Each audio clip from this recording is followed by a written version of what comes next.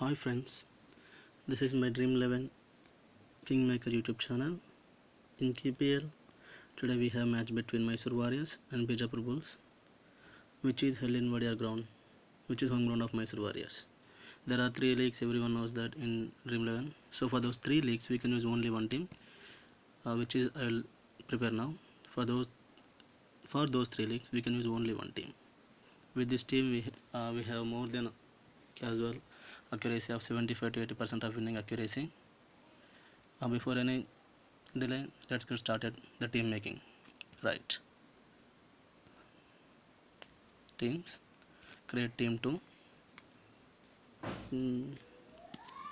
In wicketkeeper department, use AM Kiran instead of KC Avinash because in the all-rounder of Mysore Warriors, NP Bharat also doing wicket keeping as well as bowling. So he is reliable when compared to the KC Avinash. So don't use him. Use AM Kiran. In the batting department, it is the home ground of Mysore Warriors, right? So we can use more batsmen compared to the Bijapur Bulls.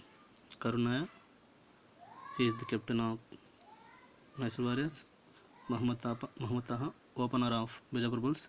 Arjun Hoysala, don't use Bharat Chiple because he is captain or doing his captaincy first time in the KPL. So with pressure, maybe he can't. Okay, right. In, in the all-rounder department, we can use Dikanshu Negi, NP Bharat, as well as Nyaneshwar Navin. These three are very well maintained in batting as well as bowling. In the bowling department, Avimanyu Midin, who is a fast bowler, KC Kariyappa, who is spinner, left hand spinner, and in in the Mysore Warriors, we can use SL Akshay and Vyshak Vijay Kumar. Okay, this is the team. You can use a preview.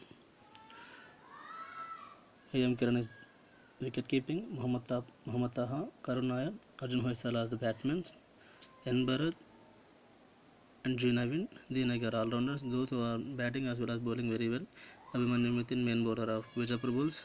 S. Akshay, main bowler of Mysore Warriors, KC Karyapan. Vijay Kumar. This is the team for us, and we can make captain and vice captain.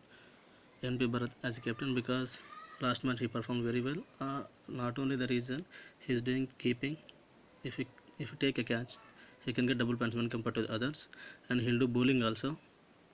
The batting also is in the second order, second down. So we can use as a batsman, and we can use Muhammad Taha as Muhammad Taha as vice captain. Okay. Thank you for watching. Thank you for watching.